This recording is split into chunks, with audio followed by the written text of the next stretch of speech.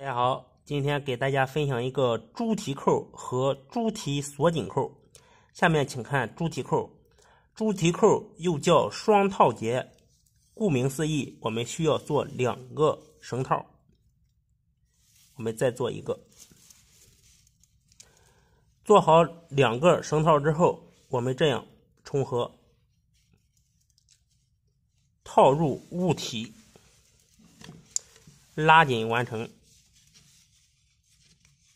这就是一个猪蹄扣，可用于临时捆绑物体。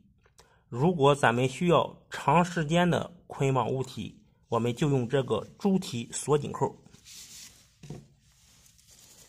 打法也是相当的简单。首先呢，我们做一个反折圈，从主绳下方把这个绳圈拉伸。拉伸的同时，我们这样扭一下，形成一个八字形，然后再重合，这就是一个猪蹄锁紧扣，套入物体，拉紧完成，越拽越牢固，非常的实用，非常的结实。